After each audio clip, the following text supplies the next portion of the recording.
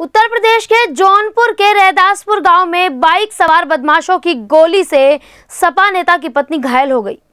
जिला अस्पताल में प्रारंभिक उपचार के दौरान उन्हें वाराणसी रेफर कर दिया गया है। घटना के पीछे चुनावी रंजिश को कारण बताया जा रहा है।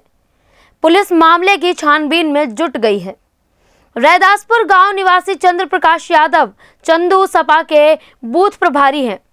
बुधवार की रात करीब साढ़े नौ बजे वह अपने दरवाजे पर बैठकर खाना खा रहे थे।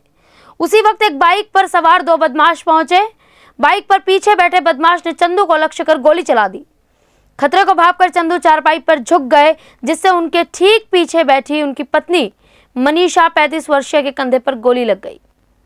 गोली चलने की आवाज़ सुनते ही परिवार के लोगों ने शोर मचाया तो बदमाश फरार हो गए। घायल मनीषा को लेकर परिजन जिला अस्पताल पहुँचे। वहाँ उनकी हालत गंभीर देख डॉक्टर ने उन्हें वाराणसी रेफर कर दिया। घटना की सूचना मिलते ही सपा प्रत्याशी लकी यादव के भाई ओम यादव समेत पार्टी के कई कार्यकर्ता अस्पताल पहुँच गए। घटना की वजह चुनावी रंजिश बताई जा रही है। एएसपी ग्रामीण त्रिभुवन सिंह ने बताया कि गोली लगने से महिला के घायल होने की सूचना मिली है। पीड़ित की ओर से अभी कोई तहरीर नहीं मिली है। पुलिस मामले की छानबीन में जुटी है। जौनपुर से संवाददाता कमलेश मौर्य की रिपोर्ट। क्या? सर, कल चुनाव था। चुनाव में थोड़ा सांथा भाई कल हो चुकी थी मीरगंज बूथ पे।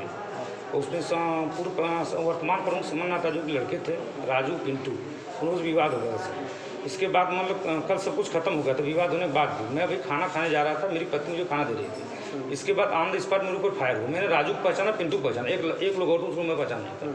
यही सर रियल क्यों क्या वजह से चुनाव वो चुनाव में सर जैसे को सिलेंडर की तरफ़ चल रहे थे हम साइकिल की तरफ़ चल रहे थे। हाँ। जैसे हम लोग समाजवादी थे। हाँ। बस उसी के लेके वो विवाद हो गया था। तो आज क्या हुआ था? किस आज सब मतलब वही कल कल चैलेंज दिए थे कि दो दिन के अंदर मार देंगे। हाँ। आज सर वैसा काम कर दिए। कौन लोग थे?